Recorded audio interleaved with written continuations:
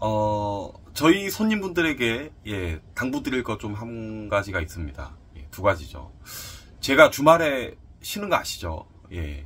저희 손님분들 아마 거의 다 아실 겁니다. 토, 일, 주말은 정말 중요한 사항을 제외하고는 쉽니다. 그러니까 꼭 필요하신 부분은 문자로 부탁을 드리고요. 아, 그리고 그 계약금을 바로 걸 사항이 아니면 이게 이제 남의 재산이잖아요. 어, 함부로 그 물건 가격을 깎지 않으셨으면 좋겠어요. 예.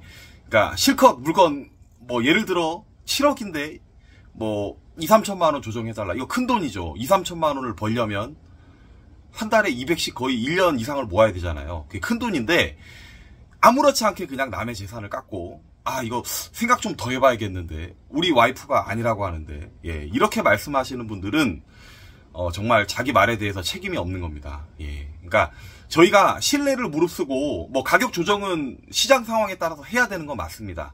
근데 어, 남의 재산을 깎을 때 예, 내가 오늘 얼마 해주시면 내가 가격금 한 돈 천만 원 걸겠습니다. 예.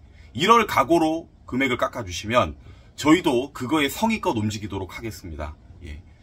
부탁 좀 드릴게요. 우리 어, 젠틀한 거래를 위해서 노력합시다. 감사합니다. 주말 잘 보내세요.